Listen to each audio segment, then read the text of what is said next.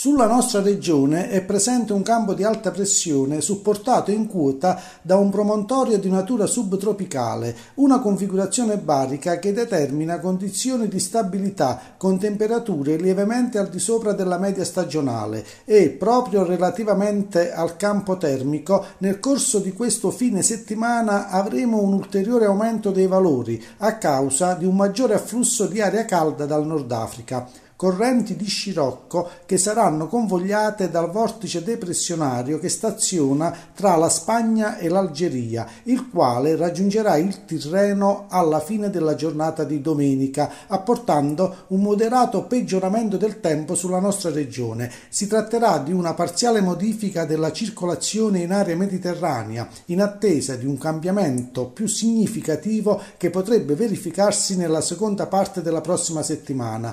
Ma ecco dettaglio il tempo previsto per questo weekend. Sabato 26 marzo, condizioni di cielo poco nuvoloso ovunque, con modesti addensamenti, ma senza il rischio di precipitazioni. Temperature in ulteriore aumento con valori che si porteranno ben al di sopra della media del periodo, venti deboli da scirocco e mare poco mosso, localmente mosso al largo.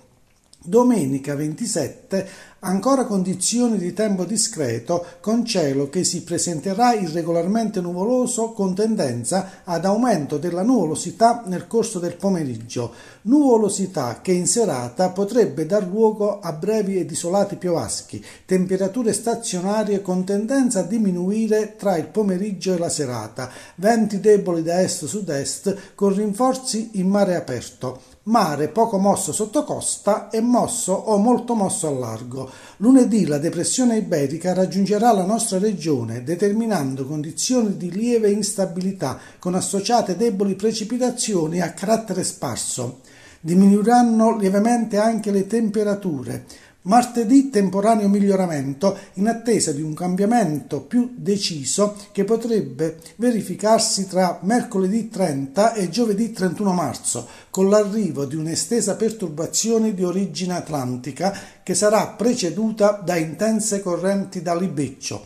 Per maggiori dettagli invito i telespettatori a consultare i prossimi aggiornamenti che verranno pubblicati sul sito www.meteogiuliacci.it e sul gruppo Facebook Meteo Cilento. Termino qui un buon fine settimana da Giuseppe Stabile.